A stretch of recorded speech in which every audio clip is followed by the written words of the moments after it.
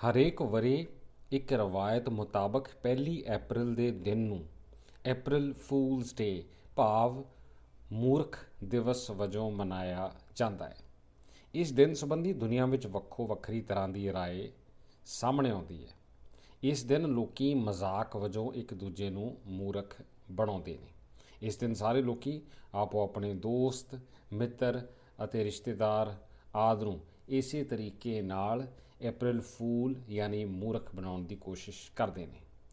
ਮੂਰਖ ਬਣਨ ਵਾਲੇ ਨੂੰ ਅਪ੍ਰੈਲ ਫੂਲ ਕਹਿ ਕੇ ਛੇੜਿਆ ਜਾਂਦਾ ਹੈ।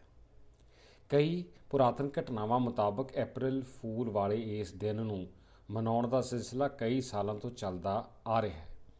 ਪਰ ਇਸ ਸੰਬੰਧੀ ਬਹੁਤ ਘੱਟ ਜਾਣਕਾਰੀ ਦੁਨੀਆ ਵਿੱਚ ਮਿਲਦੀ ਹੈ ਕਿ ਇਹ ਦਿਨ ਕਦੋਂ ਸ਼ੁਰੂ ਹੋਇਆ ਅਤੇ ਕਿੱਥੋਂ ਇਸ ਦਾ ਆਗਾਜ਼ ਹੋਇਆ। ਦਿਲਚਸਪ ਗੱਲ ਇਹ ਹੈ ਕਿ ਇਸ ਦਿਨ ਦੇ ਨਾਲ ਕਈ ਵੱਖੋ ਵੱਖਰੀਆਂ ਮਾਨਤਾਵਾਂ ਅਤੇ ਕਹਾਣੀਆਂ ਜੁੜੀਆਂ ਹੋਈਆਂ ਨੇ ਜਿਨ੍ਹਾਂ ਕਰਕੇ ਇਸ ਦਿਨ ਦੇ ਪ੍ਰਚਲਿਤ ਹੋਣ ਦੀ ਗੱਲ ਸਾਹਮਣੇ ਆਉਂਦੀ ਹੈ। ਪਰ ਨਾਲ ਦੀ ਨਾਲ ਇੱਕ ਚੀਜ਼ ਇਹ ਵੀ ਪਤਾ ਲੱਗਦੀ ਹੈ ਕਿ April ਫੂਲਸ ਡੇ ਯਾਨੀ ਪਹਿਲੀ ਅਪ੍ਰੈਲ ਦੇ ਦਿਨ ਸੰਬੰਧੀ ਜੋ ਵੀ ਗੱਲ ਜਾਂ ਰਵਾਇਤ ਸਾਹਮਣੇ ਆਉਂਦੀ ਹੈ, ਉਹ ਘੁੰਮ ਫਿਰ ਕੇ ਇੰਗਲੈਂਡ ਜਾਂ ਬਰਤਾਨੀਆ ਦੇ ਨਾਲ ਜੁੜਦੀ ਹੈ। ਅਤੇ ਇਹ ਵੀ ਗੱਲ ਵੱਡੇ ਪੱਧਰ ਉੱਤੇ ਮੰਨੀ ਜਾਂਦੀ ਹੈ ਕਿ ਇਸ ਦਿਨ ਦਾ ਆਗਾਜ਼ ਉਧਰਲੇ ਪਾਸੇ ਯਾਨੀ ਇੰਗਲੈਂਡ ਅਤੇ ਬਰਤਾਨੀਆ ਵਾਲੇ ਪਾਸਿਓਂ ਹੀ ਹੋਇਆ ਹੋਵੇਗਾ।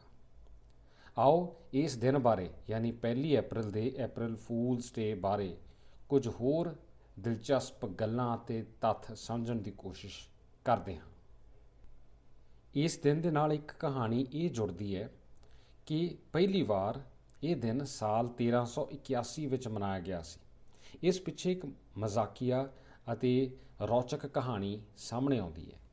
ਇੰਗਲੈਂਡ ਦੇ ਉਸ ਵੇਲੇ ਦੇ ਰਾਜੇ ਰਿਚਰਡ ਦੂਜਾ ਅਤੇ ਬੋਹੇਮੀਆ ਦੀ ਮਹਾਰਾਣੀ ਐਨੀ ਦੀ ਕੁੜਮਾਈ ਦਾ ਐਲਾਨ ਹੋਇਆ ਸੀ ਅਤੇ ਕੁੜਮਾਈ ਦੇ ਐਲਾਨ ਦੇ ਨਾਲ-ਨਾਲ ਇਹ ਦੱਸਿਆ ਗਿਆ ਸੀ ਕਿ ਇਹ ਮੰਗਣੀ ਦਾ ਜੋ ਦਿਨ ਹੈ, ਉਹ ਹੋਵੇਗਾ 32 ਮਾਰਚ 1381 ਇਸ ਐਲਾਨ ਤੋਂ ਆਮ ਲੋਕ ਇੰਨੇ ਖੁਸ਼ ਹੋਏ ਕਿ ਜਸ਼ਨ ਮਨਾਉਣ ਲੱਗ ਪਏ।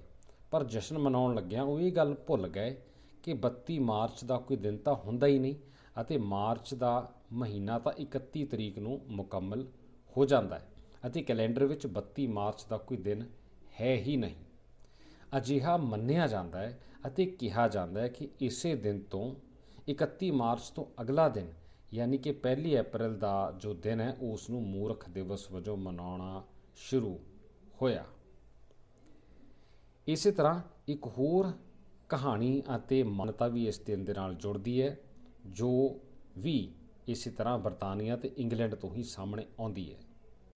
ਸਨ 1860 ਦੇ ਆਸ-ਪਾਸ ਇੱਕ ਘਟਨਾ ਵਾਪਰਦੀ ਹੈ ਕਿ ਇਸੇ ਦਿਨ ਲੰਡਨ ਦੇ ਹਜ਼ਾਰਾਂ ਲੋਕਾਂ ਦੇ ਘਰਾਂ ਵਿੱਚ ਪੋਸਟ ਕਾਰਡ ਭੇਜੇ ਗਏ, ਜਿਸ ਵਿੱਚ ਦੱਸਿਆ ਗਿਆ ਕਿ ਸ਼ਾਮ ਨੂੰ ਲੰਡਨ ਦੇ ਟਾਵਰ ਵਿੱਚ ਚਿੱਟੇ ਗਧੇ ਇਸ਼ਨਾਨ ਕਰਨਗੇ। ਸਭ ਨੂੰ ਇਹ ਵੇਖਣ ਲਈ ਸੱਦਾ ਦਿੱਤਾ ਜਾਂਦਾ ਹੈ। ਇਹ ਸਭ ਵੇਖਣ ਲਈ ਸਭ ਨੂੰ ਨਾਲ ਪੋਸਟ ਕਾਰਡ ਲਿਆਉਣ ਲਈ ਵੀ ਕਿਹਾ ਗਿਆ। ਸ਼ਾਮ ਢਲਦਿਆਂ ਹੀ ਹਜ਼ਾਰਾਂ ਲੋਕ ਟਾਵਰ ਦੇ ਬਾਹਰ ਇਕੱਠੇ ਹੋ ਗਏ। ਲੋਕਾਂ ਨੇ ਅੰਦਰ ਜਾਣ ਲਈ ਧੱਕਾ ਮੁੱਕੀ ਵੀ ਕਰਨੀ ਸ਼ੁਰੂ ਕਰ ਦਿੱਤੀ। ਬਾਅਦ ਵਿੱਚ ਪਤਾ ਲੱਗਾ ਕਿ ਕਿਸੇ ਨੇ ਉਹਨਾਂ ਸਾਰਿਆਂ ਨੂੰ ਮਜ਼ਾਕ ਵਜੋਂ ਮੂਰਖ ਬਣਾਇਆ ਸੀ। ਸੋ ਇਹ ਵੀ ਇੱਕ ਪ੍ਰਚਲਿਤ ਧਾਰਨਾ ਹੈ ਜੋ ਇਸੇ ਦਿਨ ਦੇ ਨਾਲ, ਯਾਨੀ ਪਹਿਲੀ ਅਪ੍ਰੈਲ ਦੇ ਅਪ੍ਰੈਲ ਫੂਲਸ ਡੇ ਦੇ ਨਾਲ ਜੁੜਦੀ ਹੈ। ਜੇਕਰ ਸਾਡੇ ਭਾਰਤ ਦੇਸ਼ ਦੀ ਗੱਲ ਹੋਵੇ ਤਾਂ ਭਾਰਤ ਵਿੱਚ ਇਸ ਦਿਨ ਨੂੰ ਮਨਾਉਣ ਦਾ ਪ੍ਰਚਲਨ 19ਵੀਂ ਸਦੀ ਵਿੱਚ ਅੰਗਰੇਜ਼ਾਂ ਨੇ ਸ਼ੁਰੂ ਕੀਤਾ ਸੀ। ਇਸ ਤੋਂ ਬਾਅਦ ਭਾਰਤ ਵਿੱਚ ਹਰ ਸਾਲ ਇਸ ਦਿਨ ਨੂੰ ਮੂਰਖ ਦਿਵਸ ਵਜੋਂ ਮਨਾਇਆ ਜਾਣ ਲੱਗਾ। ਹੈ ਤਾਂ ਇਹ ਸਿਰਫ ਇੱਕ ਹਾਸੇ, ਠੱਠੇ ਅਤੇ ਮਜ਼ਾਕ ਕਰਨ ਦੀ ਇੱਕ ਪ੍ਰਕਿਰਿਆ, ਪਰ ਫਿਰ ਵੀ ਕੁਝ ਗੱਲਾਂ ਦਾ ਧਿਆਨ ਰੱਖਣਾ ਬਹੁਤ ਜ਼ਰੂਰੀ ਹੈ।